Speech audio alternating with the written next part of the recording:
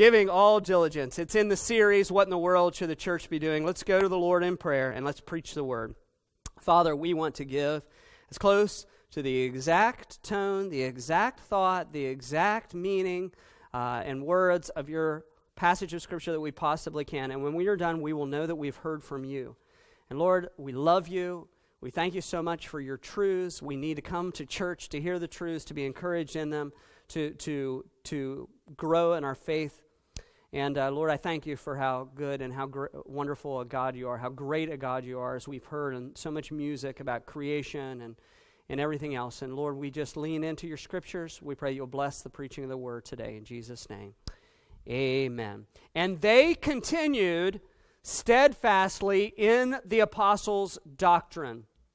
That phrase we've seen over several weeks.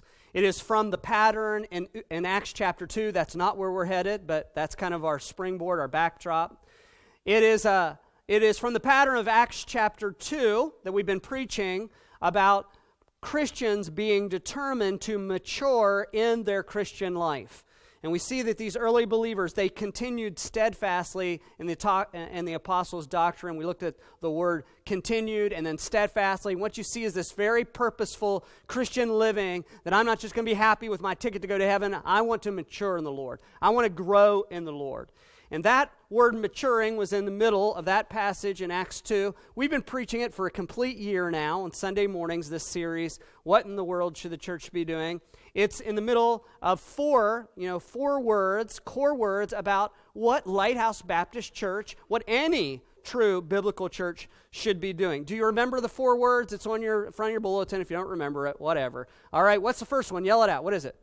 Reaching. We should be reaching. That's evangelism, reaching. Second one is involving. We should be growing together as, as brothers and sisters in Christ, including each other, striving hard to have that brotherly love and charity that we're going to see today. What's the third one we're preaching now?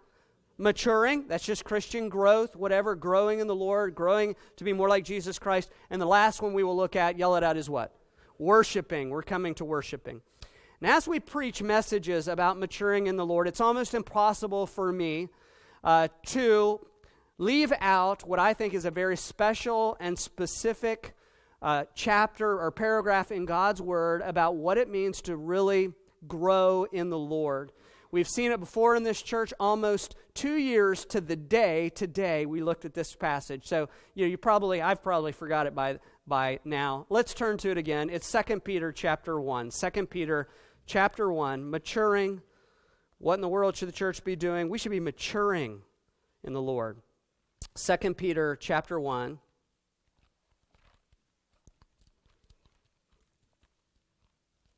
Second Peter chapter 1. It's right near the end. See Revelation, come back a couple Johns on all that. Second Peter chapter 1. Would you stand, please? We're going to read through verse number 10. This is God's heart. This is God's word. This is what God says for you today. 2 Peter 1 1. Simon Peter, a servant and an apostle of Jesus Christ, to them that have obtained like precious faith with us through the righteousness of God and our Savior, Jesus Christ. All right, thinking through that verse. He's talking to others who have obtained. You know, they didn't seize it, it seized them. They obtained it, they were given it. This precious faith. How? Through the righteousness of God. Salvation comes through His righteousness, not our own. So he intros that way, verse 2 Grace and peace be multiplied unto you. So it's pouring down through the knowledge of God and of Jesus Christ our Lord. So those who are who become saved, those who trust in Christ, grace and peace continually multiplies to them in their life and the next one. Verse 3.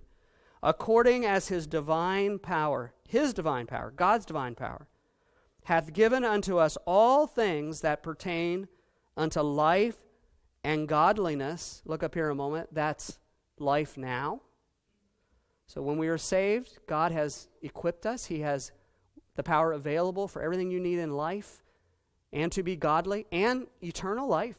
Everything is given by Him through, how, how do we get this? Through the knowledge of Him, salvation, that hath called us to, or it can be translated by, glory and virtue. It's as if glory and virtue was this trumpet calling to us God's glory and God's virtue, that you can enter into that, and it's calling you, and you, you came and you, you were saved to glory and virtue.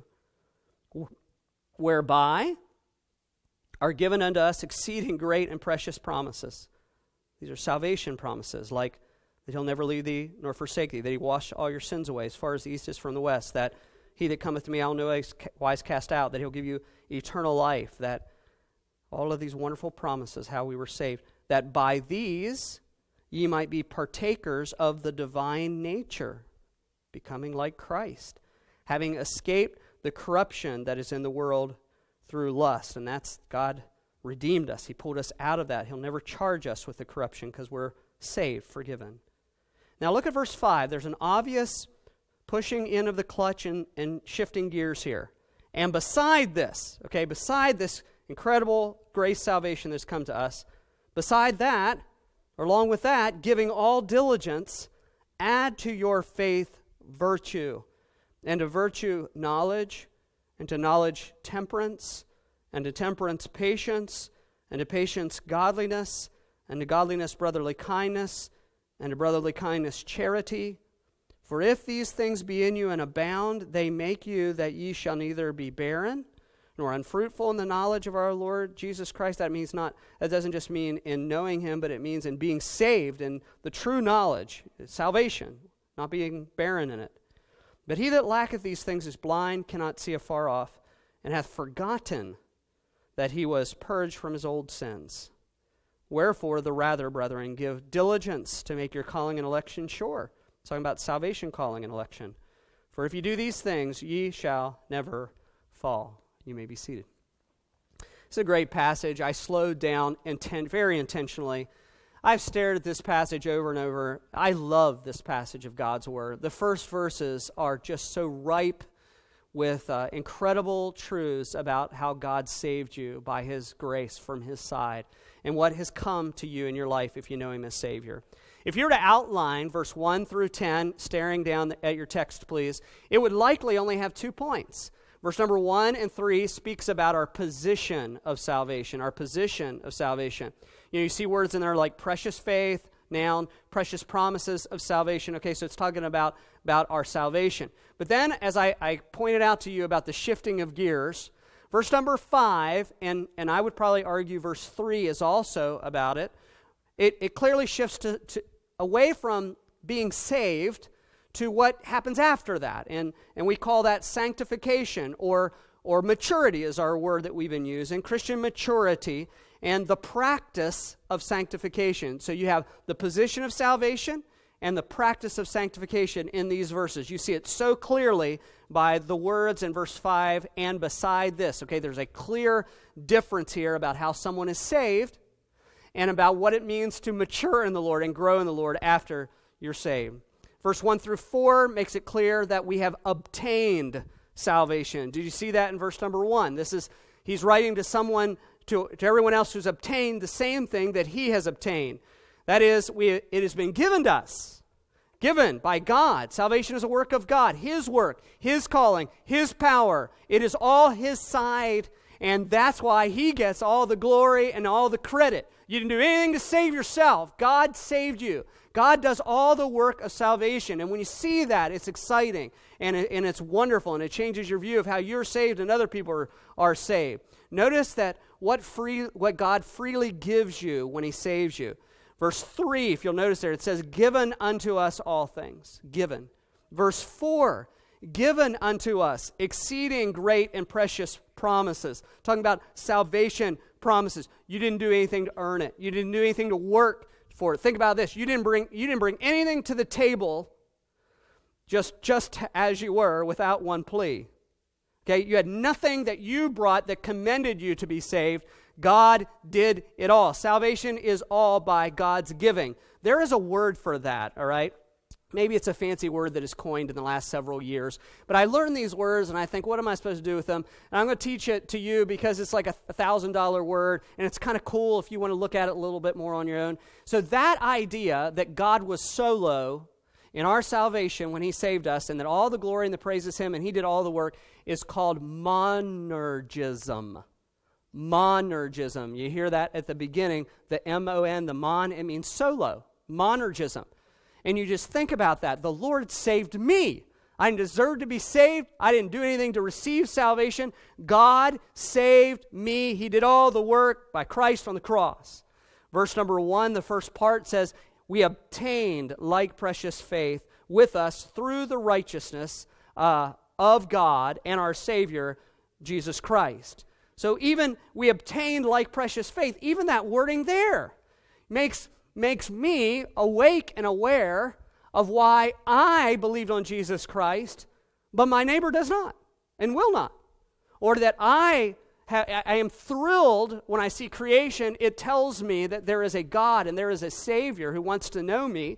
But the man at the grocery store has no, not one impetus in him to desire that at all. He has no interest in that at all. What is that difference?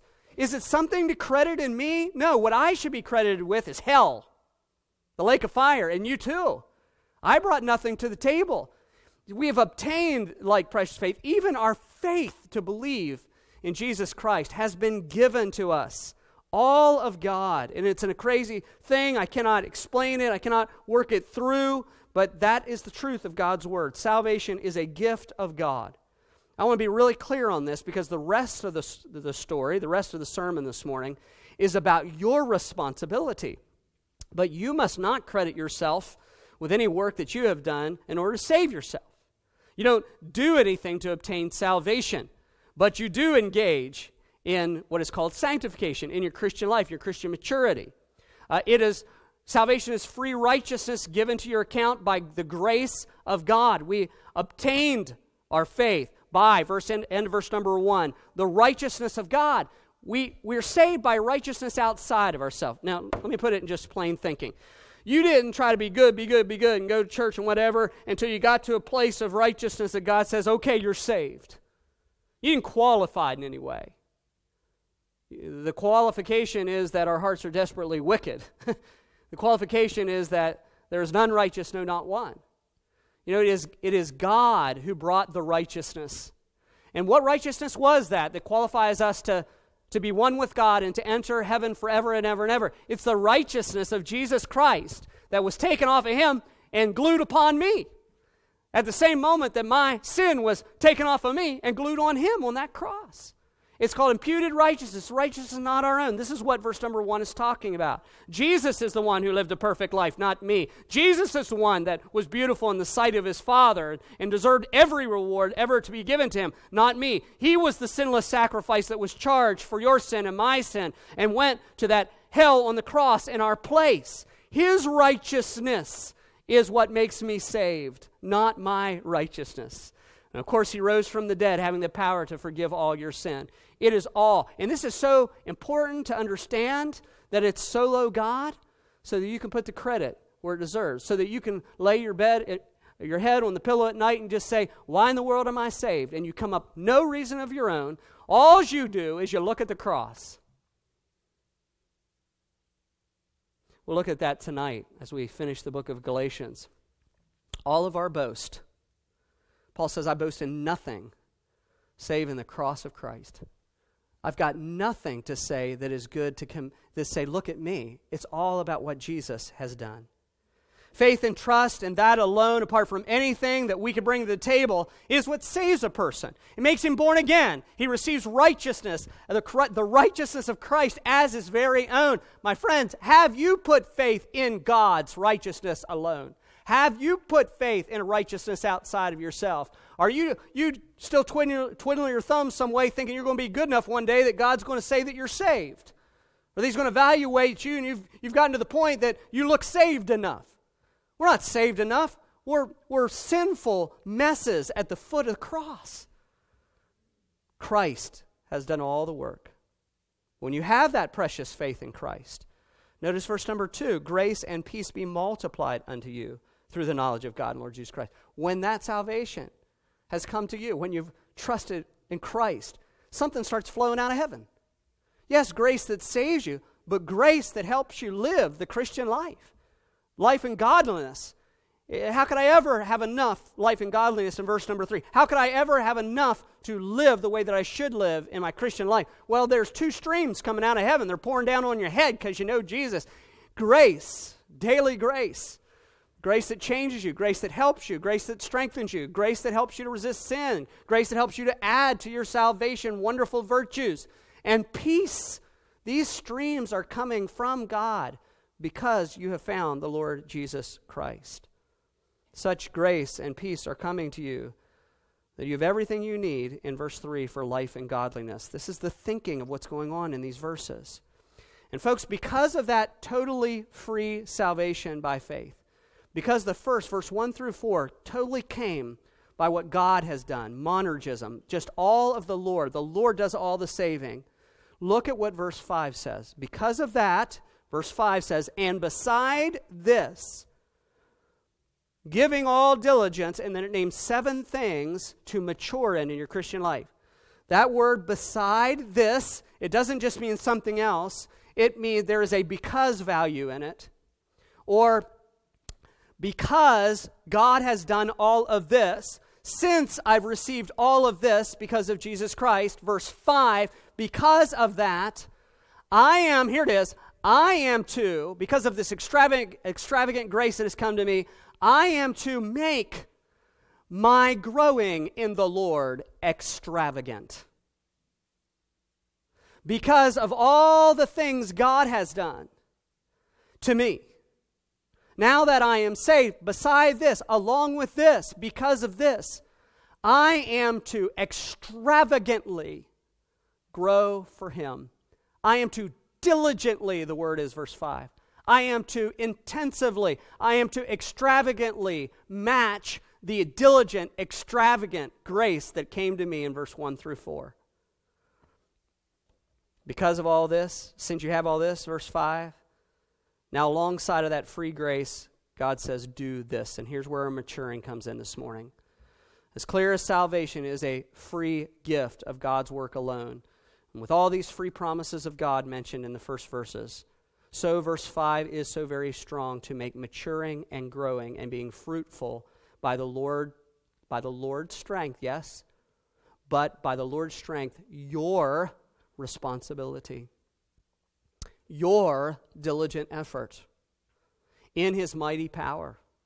Verse 3 says, His divine power gives life and godliness. So, you know, it'd be crazy for you to think that, you know, you can do this on your own we have all these scriptural passages that say stuff like, be strong in the Lord and in the power of his, his, his might. But it would also be equally foolish for you to say, okay, here I am, God, make me a mature Christian. I'll just do nothing.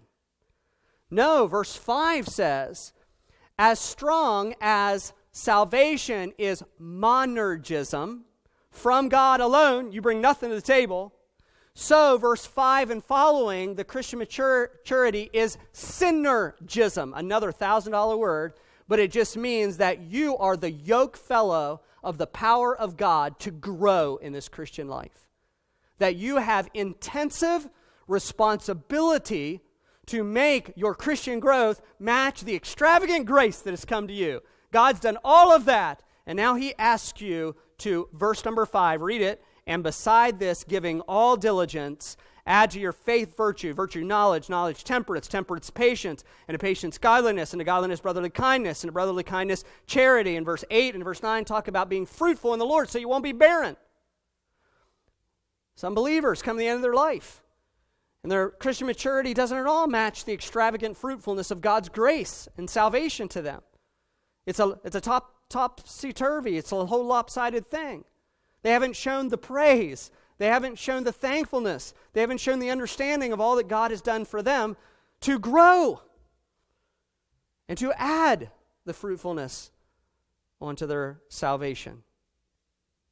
It's not that we can add anything to make us more saved. It is that our Christian growth and maturity in diligence is the fruit of our salvation. Let me say it this way our lavish, lavish diligence to mature as a Christian is really praise and the appropriate response to God's free grace. And, and if you can remember this or write it down somewhere, it'd be good for you. Such grace deserves such growth. Such grace of verse 1 through 4 deserves verse 5 through 8 such growth. Such grace deserves such growth.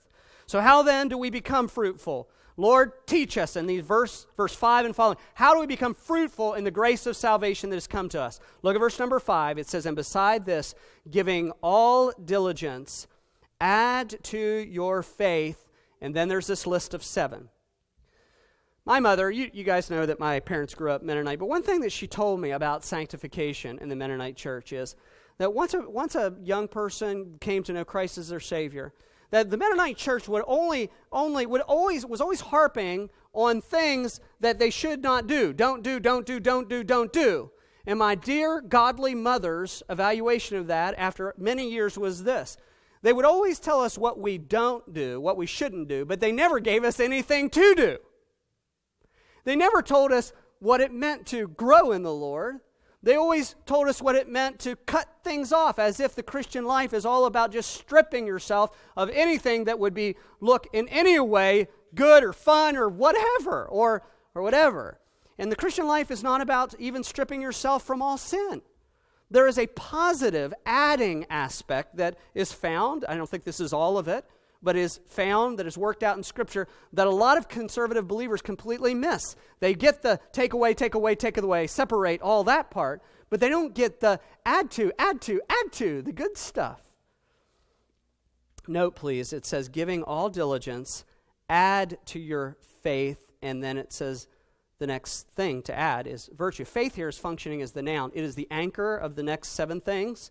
It is what it is our salvation. It's the, it's the same it is our salvation. It's the synonymous term. So you, you got salvation by trusting Christ and his righteousness in verse 1 through 4, and now you're adding on top of it, you are decorating it, you're adding fruit to it.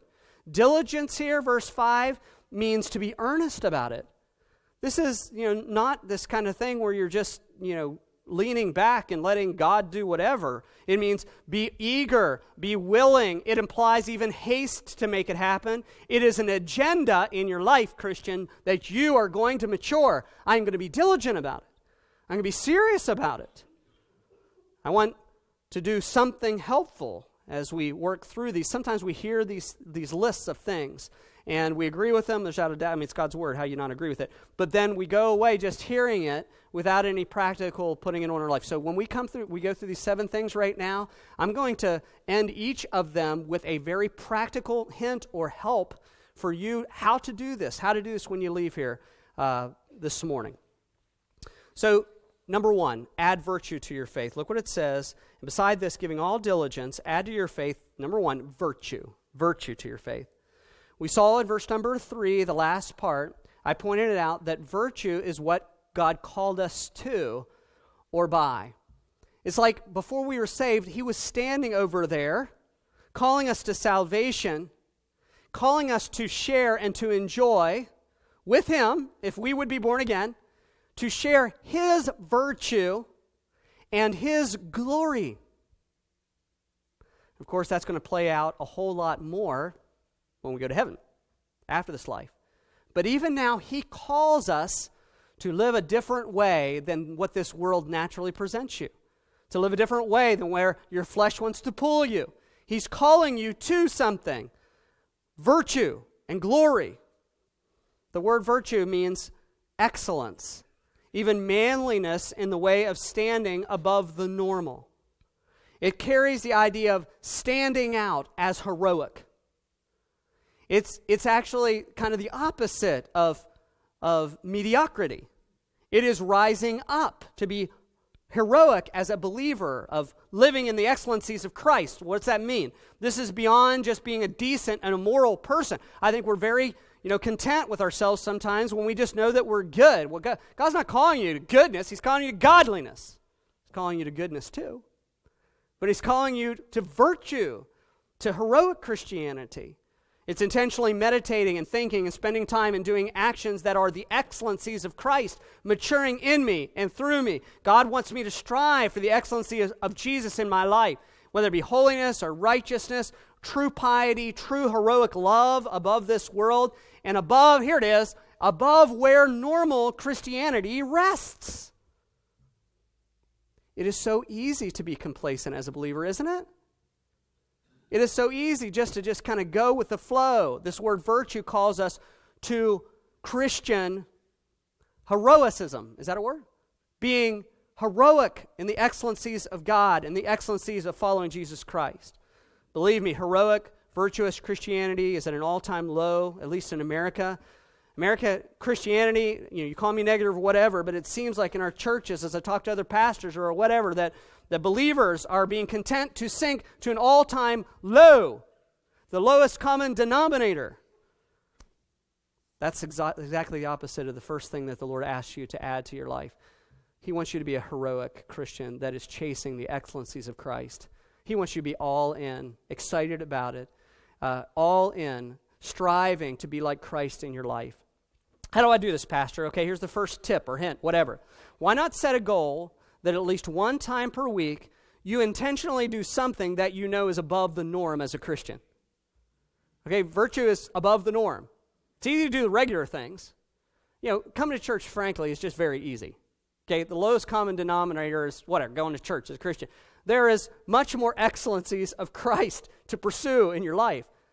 Be heroic like Jesus, heroic in action, heroic in the way that you spend your time to serve God or to, or to minister to your own heart, to be changed in the image of Christ, not just doing the barely, but doing the heroic, doing the virtuous. Look for heroic, noble, excellent choices. Stop sinking to the comfortable, normal. And I would say this in the context of this passage rise to make your excellent virtue match your excellent salvation grace. You know, God's grace to you in salvation wasn't barely. It was extravagant, it was huge. And that's going to play out through all eternity of how incredible, extravagant love and blessings and grace that He's going to pour on you. So make your Christian living that way. Number two, add knowledge to your faith. Look what it says, uh, and at the end of verse number five, and to virtue, knowledge. It's almost like these things are stacking up in your Christian life on your faith, the foundation of your faith knowledge. Uh, knowledge is a thirst to know something. It can be used intellectually, but it also can be used in, in Scripture. Often it's used intimately. So, intellectually and intimately, we are to have a thirst for God, to know the Lord, to know about the Lord. You remember the Berean church that the Scripture says they searched the Scriptures daily and were called noble. Why were they called noble? Because they, they sought the things of the Scripture of what the Lord was like. Well, that same thirst should be in us, thirsting for who God really is and thirsting for knowing Christ closer. Searching the Scriptures, seeking God on your face, asking real questions, and expecting to find real knowledge that the Lord would share with you. Things like, what does God want from my life? What do Scriptures teach uh, about the character of God? What do they teach about a particular thing? Not just what my church does, not just what my pastor thinks, but what does the Lord say? And I hope those things are the, the same, by the way, what your pastor thinks and what, you know, I hope that's true. What does God want from my life and my relationships? This knowledge is not just a Bible trivial pursuit. Every once in a while, uh, let me, I'm going to pause to give uh, an illustration, but there's a couple guys here that have the app that controls this zone up here. I'm going to actually ignite on fire if you don't make it cooler up here. Because so could someone do that for me? Whoever you know who you are, who who can do it? All right. Every once in a while, we'll meet somebody in our church or in Christian circles who will know tons about Bible trivia. I mean, they'll know every answer. They'll be able to quote verses and tell you where it is and whatever, whatever. And many of the times, not all the times, many of those times, though, that person has no true intimate knowledge of God. Not any great love for God. They just like the Bible trivia at all. Hey, this adding knowledge to your life can't just be Bible trivia. It is, it is knowing things in, in the Scripture and about God so that you can draw closer to Him. And that person that's all Bible trivia and none truly knowing the Lord intimately, they really know nothing about the depths of God that are inexhaustible. I've reminded you that Paul often prayed in his letters to Christians this word knowledge. He prayed that they would be filled with knowledge, the knowledge of God one way or another. That's we should pray that for each other. It should be a great desire that we know God more. A great desire. One of you gave me a song to listen to this past week, and I listened to it about knowing God. Thank you, Nancy. And that should be our thirst, and that should be our desire. Paul prays stuff like, that you may know the dimensions, the dimensions of the love of God, which are crazy big for you. He prays that as a prayer the height, the depth, the, the dimensions of the love of God. He prays in another passage that they would have knowledge of the will of God that they would have knowledge of the truth of God. The Lord doesn't want us just to sit around and wait for someone to tell us more about God. He wants us to engage and, and, to build and to grow in that knowledge of the Lord. How do I do this? Here's the practical way. Okay, here's a tip for you. The purest way that you can do that is to take your Bible and to get somewhere that is probably away from your phone and away from your tablet and away from people and sit down in the middle of the woods in a quiet room in your basement. I don't know where it is that is quiet for you. And forget about your schedule and forget about all those things that you're worrying about. And to open that precious Word of God and begin reading and thinking. Not for quantity, but quality. When's the last time you did that? add knowledge, the knowledge of God to your life. When is the last time that you were not in a rush to do your devotions? When is the last time that you said, okay, there's no, this is open ended. This time with God is open ended. I am going to stay here until I walk with God and until the Lord stirs my heart with knowledge of Him. So that's the purest way you can do that. And I know that that takes some crazy things. You've got to maybe change your schedule, all right? And I know that you can't all do that all the time. You can't, can't do it every week, can't do it every month. But that is the purest way to gain knowledge of God, just staring at God in His mind, in the Word. I want to give you another hint on this or another tip on this. I want to encourage you that this uh, year that you would read one book, recommended book, about knowing God. I've got two books to recommend it to you, okay?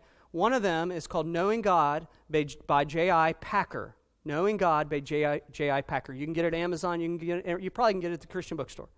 All right? The second one is a book called Desiring God by John Piper. Both of these books will plumb the depths of Scripture for you and will grow you in knowing God. Diligently add knowledge to your faith. So, number three, look at verse number six. And to knowledge, temperance. And to knowledge, temperance. Here's the third thing that we're adding to our faith in verse six. Some of you are old enough to remember. I'm not going to ask you to raise your hands, all right? Brother, Brother John, I won't ask you to raise your hand. Some of you are old enough to remember that the word temperance, temperance used to be associated with a historic movement in our country called the temperance movement. John's raising a hand. Go look at him. Yeah. Got you in there, brother. Shout out in the sermon. All right, and, and it was it was when liquor was uh, made illegal and all of that. And by the way, churches and preachers had a big deal, had big whatever's, a big uh, uh, part in that. But the word temperance means self control in all areas of your life, not just liquor, not just alcohol. Self control. It seems that temperance is listed after knowledge to tell us something about knowing God. It is not enough for you to be that trivial Bible trivial pursuit guy who knows things about God. Knowing about God is designed to what? To change you. It's designed to make your control of your godly living different. It is to be practiced by controlling our minds and our bodies. You may have heard this saying, let go and let God. Raise your hand if you ever heard that. Saw a bumper sticker, you've been there, done that. Let go and let God. That's a great saying, isn't it? Except it's totally unbiblical. Maybe let go and let God when you're getting saved, because you can't do anything to add to it. But in the Christian life, it's not let go and let God. Uh, passages like this would totally argue that. Since you have trusted on Jesus Christ, engage, God says. Control your life by my strength. I'm not, you can't, you don't have the strength to do it, but you have the strength to put forward the effort in my strength. I will engage when you engage. Another way through scriptures that this is all played out temperance, controlling my body, is, is the, the whole concept of dying to self over and over and over in scripture. It says to die to yourself, to live to the Lord, die to yourself. Say no to you, say yes to Jesus, calling the shots in your heart and in your body. Let him be the Lord that you said he was when you accepted him as Savior. Lord means you bow to him, you get off the throne of your heart, you let Jesus sit there and call the shots. You die to yourself. Temperance. Temperance. Our lives are not our own, Scripture says. We're bought with a price. The Scripture says that we're God's temple, we're not our own temple. The scripture says believers have given the throne uh, of our bodies to Christ. He is our King, our Lord. The Bible says that we don't live the rest of our life for the lusts and pleasures, but to the will of God, the scripture says. And that is temperance. I am dead to self and I am alive to God. God, you run me. I'll be the car, but you be the driver. I used to pray that as a teenage boy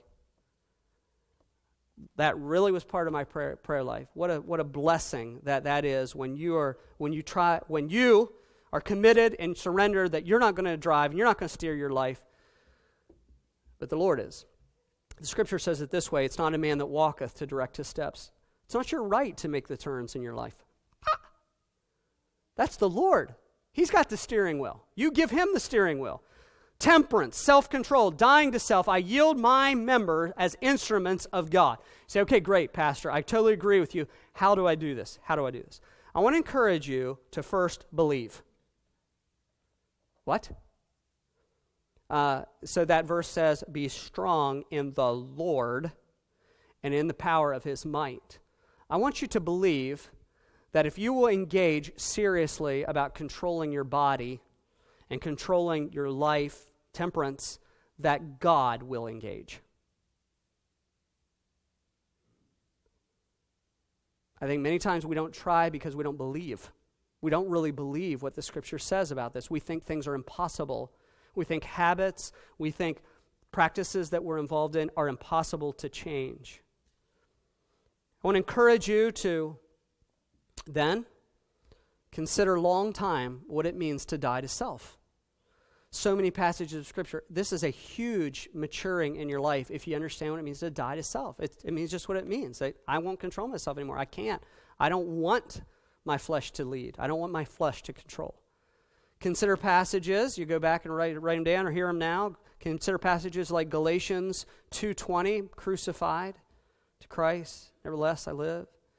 Romans 6, reckon yourself to be dead 1 Peter 4, all of these passages are pointing out one thing that to grow spiritually the way that you need to grow, you have got to die to yourself. Mortification, whatever you want to call it. And then, same tip, this is one extended tip. Then, I want to encourage you that you would look at one area of your life, not 10, not, not two, one area of your life. Believe that God can control that and overcome that. And then with prayer and resting on the Lord and determination and accountability of Christian friends and all those tools the Scripture gives us, attack that to change it with all your worth. With everything you are, believing that God is going to engage with you, that you would attack it. Don't be unbelieving. Don't believe that God can't do it. The scripture says that the power to change our lives is the same power that raised Jesus Christ up out of the dead. That was some power. And there are some areas of your life, some habits, believers, Christians in your life that are so ingrained that it would almost take the resurrection of the dead to change that in your life. But we have a God who can.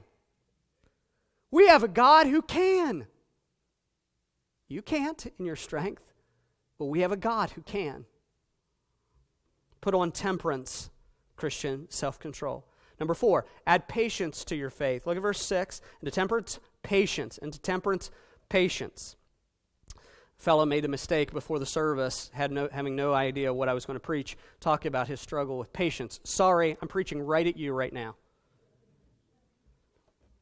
What is patience? This is the enduring of trials and afflictions, etc., and God's strength with the right attitude.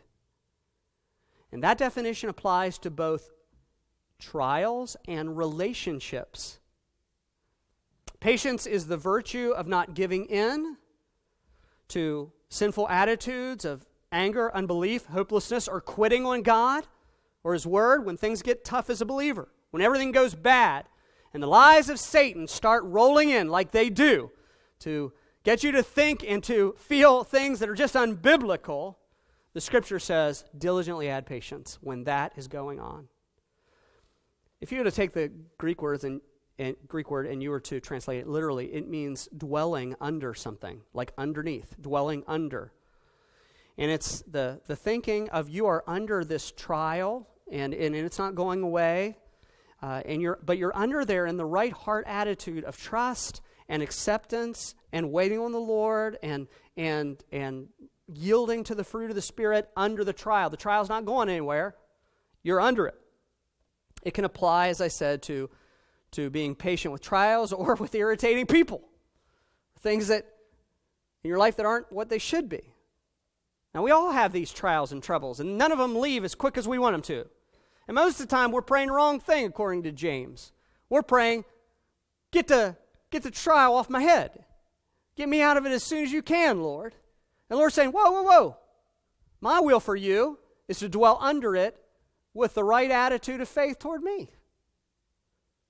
In fact, the scriptures even tell us in James that we should be joyful under those trials and count it all joy.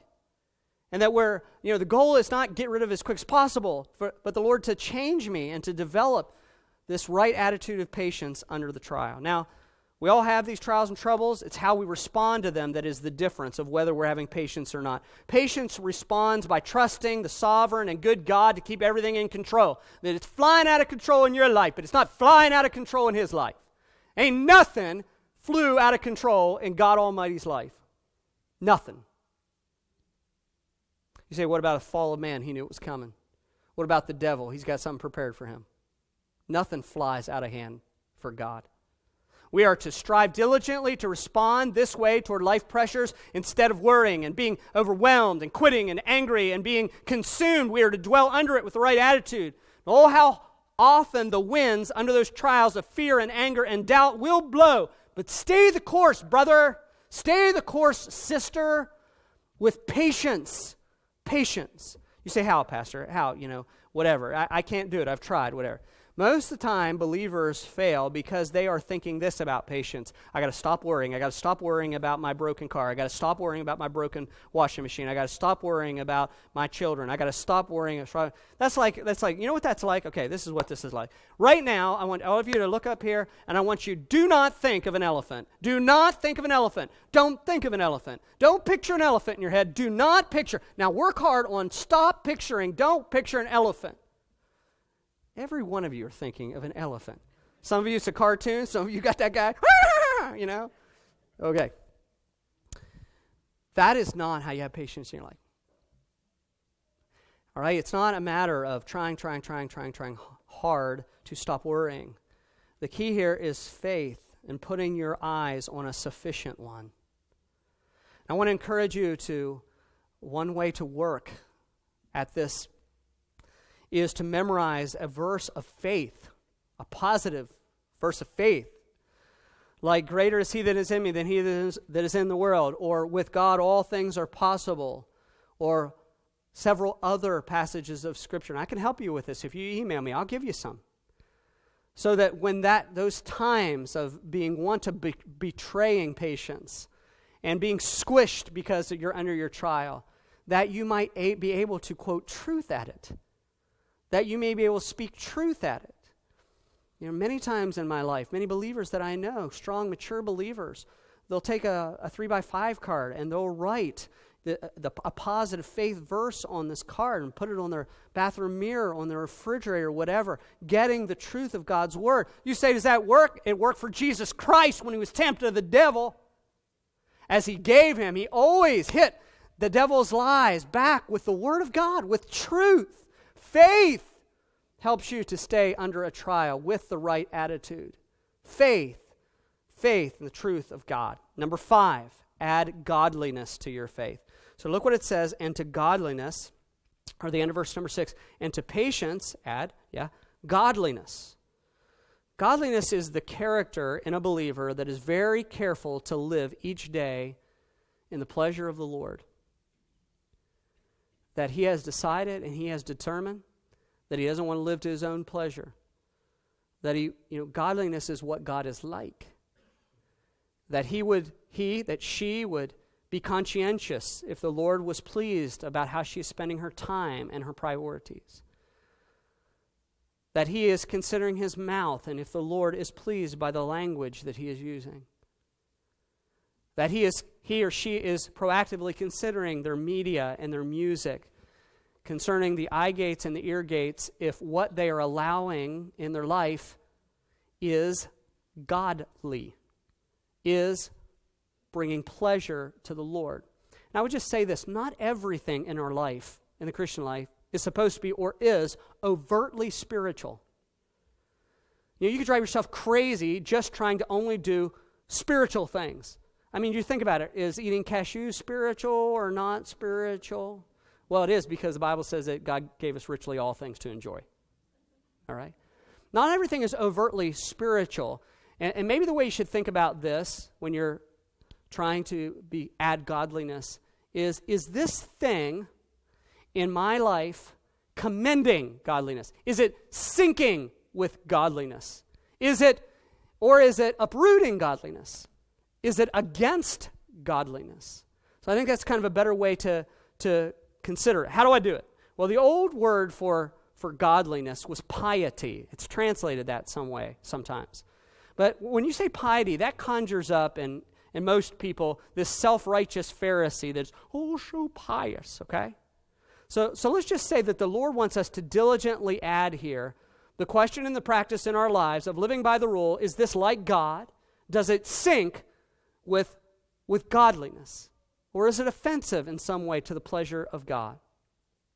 Why not take this week in your devotion time and carve out just a couple of minutes and being proactive of this and examining yourself for the things that you're allowing? Turn off, click, click, click, click, turn off the cruise control Christian and rise to these virtues of excellence and be proactive about this godliness in your life. Be proactive about it. Everything you do in life, asking the Lord, does this commend, is this okay with me adding godliness? Number six and seven, I'm going to put together.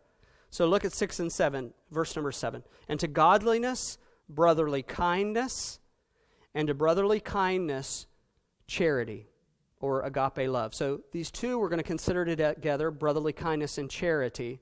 I put these two together because, yes, they're similar, but also when you put them next to each other, you can, con- you can contrast them and, and you can see all the little divots and all the, the little facets of them to totally understand what the Lord wants us to add to both of them. So, brotherly kindness is the word phileo. So, he's not telling you to be like Philadelphia. Trust me, he's not. City of brotherly shove, all right? Brotherly kindness in this phileo, it deals with tender affection toward others. Do you know that the Lord wants us to be tenderly affectionate to everybody else in this room? What's that mean? It, it's especially talking about brothers in Christ. It is, is how you choose to feel towards your sister or your brother. It's how you choose to feel about your Christian brother or sister, phileo, brotherly kindness. You're diligent of choosing to be affectionate and accepting and even warm and caring and transparent and accountable and involved and close. You say, well, Pastor, that's not, that's just not me. You're right. Some of you will struggle personality wise with this. But this is the exact point of sanctification maturing and growing to something that you've not been before. And some of us may do this a little bit better. The Lord is commending you. He's, he's preaching you. He's telling you. He's commanding you to put on brotherly kindness. You know what it's like to feel a connection and a loyalty, most of you, to a blood family member. Well, we are to diligently strive to have that warm, tender affection toward our Jesus blood family members. Contrasted with this is the word charity here. It's agape love. What's the difference here? All right, in the words.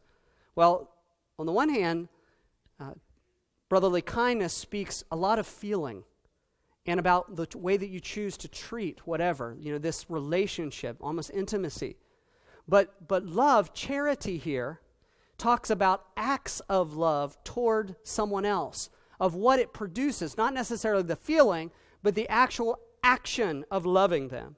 And it's great this, to, be, to translate this charity because even in our society, we still use that word to mean organizations that we engage to or that we give to or that we volunteer to, we help with. These are actions of love.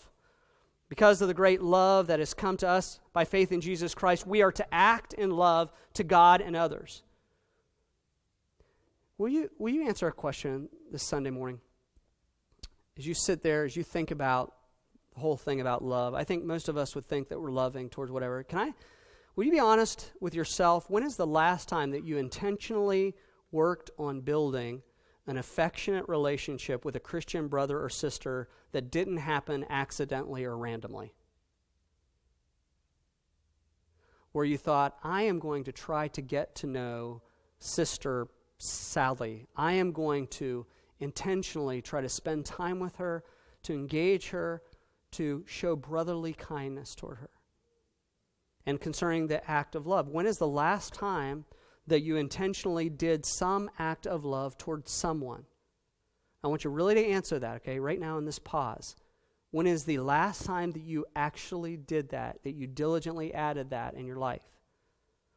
Diligence, we're supposed to look for opportunities to show works of love to others. I've heard people say, you know, I would have helped her if I had if she had asked me.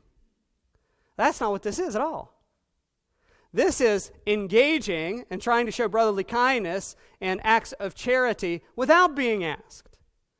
I see other people and their other believers, their life just just blossoms with this fruit and it falls off of them and they seem to always be in situations where they are loving people where they are doing acts of love where they are engaging where they're continually showing the christ uh, showing the love of Christ to other brothers and sisters. What is that? Those people in their life, they are diligent about it. They're not just waiting. Every one of you, if someone will walk up to you in this church after church and say, "Hey, things have been really hard. Could you loan me ten dollars?" Those of you who had it would not. You would not even think it. You would just da da da. That is not diligently doing these things. Diligently doing these things is being proactive and putting those things in your life without being asked. How do I do this? I want to ask each of you in the coming weeks that you would pick one person around you that you don't already have a warm Christian relationship with, and then I want to ask you to intentionally reach out and warmth to that person. I want to ask you that if you have the means of time or help or finances, whatever, that you in the coming weeks will look for someone to show acts of charity, of love towards another believer. Okay, without being asked. Without being asked. Just showing up. Just doing it. I remember one time when I was sick, and it's easy to do, you know, for the preacher. It's just the only illustrations that I have are things that have happened to me, right? So I remember one time when I was sick, uh, doorbell rang, beating on the door, and I, by the time I got to the door and I opened up, there's no one there, except hanging on the door is like two cans of soup and like a loaf of bread or something. That's what I'm talking about. Acts of love toward each other, acts of affection intentionally unasked. You could give lots of other illustrations. So, in these seven, as you look at the scripture here, as we land the plane, in these seven brilliant categories, here's one passage about God's plan of maturity for you about the synergism of you trusting in the, in the power of God to do it through you, but you totally engaging, wholeheartedly engaging in maturing by adding these seven things. Why? Because God has done so much for you. Because God has done, verse number one through four, this great salvation with all these great promises and everything you need for life and godliness. And you've got it so much better off, believer in Jesus Christ, than you even know it. That moment when you open up your eyes in heaven, you're going to say, I had no idea it was going to be this good, this great. I had no idea that the Lord God, my Father, was so committed to me on this earth. All these tremendous, great, and promises that come from Him. Being a good Christian isn't about taking, taking, taking, taking things away only, cutting, cutting, cutting sins, cutting, cutting, cutting, add whatever. It's also about adding diligently things to your life. The paragraph, if you just scan 9 through 10, it ends that if you will diligently give effort to adding these things, you're not going to be a barren Christian. I don't know about you, but I don't want to enter heaven as a barren Christian. I don't want to enter heaven as a, a fruitless Christian before my Lord who did so much for me. Verse 9 says, you're, you're, if you diligently add these things, you're not going to be a blind, nearsighted Christian that struggles with assurance of their salvation. You're going to be bearing fruit, and that fruit, even to you, is going to be evidence that Christ is doing this through you. Or you wouldn't even be doing it. Christ is really in you. And verse 10 says, You're going to be a strong, unwavering believer that makes their salvation and calling and election sure. That means firm and stable and steadfast. You know, f- folks, God did not give you amazing grace for you to be mediocre and for you to be lazy and for you to be just on cruise control. He gave you this great grace so that it would be matched with intensive, excited, extravagant, maturing in our Christian lives, showing praise and glory for what He has done to us, being fruitful for Him. Maturity. Would you bow your heads, please, this morning?